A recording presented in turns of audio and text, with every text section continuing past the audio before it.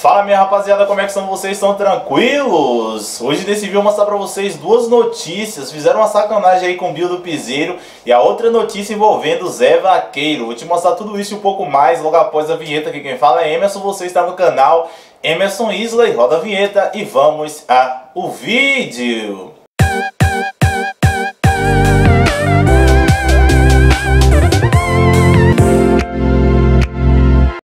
É, rapaziada, a primeira notícia que eu vou mostrar aqui pra vocês é envolvendo o Zé Vaqueiro. O Zé Vaqueiro no último fim de semana fez um show e uma fã se emocionou muito em seu show, cara. E assim, esse vídeo está viralizando demais nas redes sociais e eu resolvi compartilhar ele aqui com vocês. Vamos ver. Pode me ouvir, tenho tanto pra dizer, mas sempre quero falar com você.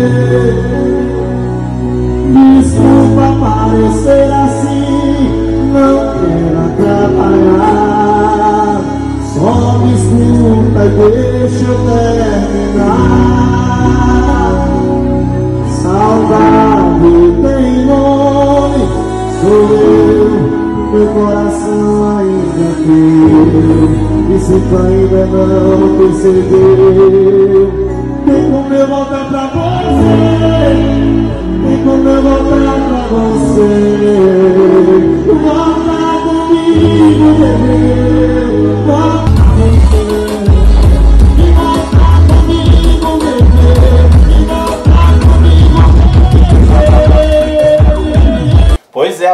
vocês viram aí, a menina muito emocionada. E quando o DJ Ives, que é o produtor musical de Zé Vaqueiro, postou esse vídeo lá no seu feed no Instagram, várias pessoas estavam falando que a menina estava sofrendo de amor, que a menina estava na sofrência. Ela falou, não, não estou. Ela falou, deixou um pequeno vídeo também lá nos seus stories e eu vou mostrar aqui pra vocês. Vamos ver.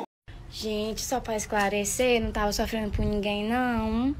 Era por emoção, por estar no show do meu ídolo. Eu acho que o povo interpretaram tudo mal. Agora eu vou virar meme nacional, bonito pra minha cara. Pois é, rapaziada, como vocês viram aí, ela falando que foi por emoção, por ela estar curtindo o show de seu ídolo. Como vocês sabem aí, Zé Vaqueiro está fazendo um grande sucesso e agora em 2020, sem sombra de dúvida, foi uma das maiores revelações do Arrocha. Lembrando a todos vocês que mais cedo eu trouxe um vídeo aqui falando sobre Zé Vaqueiro, que rolou uma grande treta aí entre ele e uma jornalista, mas enfim, se vocês quiserem ver esse vídeo, eu vou deixar o link aqui na descrição. Gente, antes de eu mostrar essa sacanagem que fizeram com o Bill do Piseiro, eu gostaria de agradecer a todos vocês que, que vivenciaram comigo os vários momentos ótimos aqui em 2020, apesar dessa pandemia estar aí de vários momentos difíceis, é, aqui pro canal foi um dos melhores anos assim na minha vida, porque eu alcancei números surpreendentes que eu nunca pensava que eu ia imaginar. No início desse ano eu pensava assim, nossa, quando chegar no final de 2020 eu quero estar com 100 mil inscritos. E olha onde a gente chegamos, a 141 mil inscritos. Cara, isso é um sonho que eu estou vivendo. Nunca pensei que eu ia alcançar esse número. Só quem me conhece pessoalmente sabe como isso aqui é muito importante para mim. E assim, como vocês, algum de vocês me acompanha, sabe que eu sou uma pessoa que eu venho da roça, cara. Então assim, para mim isso é um sonho, cara. É um sonho mesmo de verdade que até agora a ficha não caiu. E eu só tenho a agradecer a todos vocês que me acompanham aqui constantemente, que deixam like aí, que compartilham o vídeo, que comentam. Então assim, Gente, muito obrigado mesmo de coração. Que esse ano de 2021 seja de bênção na vida de todos vocês. E que Deus abençoe a família de todos vocês aí que acompanham o nosso canal. A família de todos nós, né, gente? Então, muito obrigado mesmo de coração. E a outra notícia que eu vou mostrar aqui pra vocês é sobre Bildo Piseiro. Bildo Piseiro que fez um show um dia antes de eu estar fazendo esse vídeo. Quando ele terminou de fazer o show, que ia tirar foto com seus fãs lá no camarim, teve alguém mal intencionado aí que falou que Bildo Piseiro não ia tirar foto.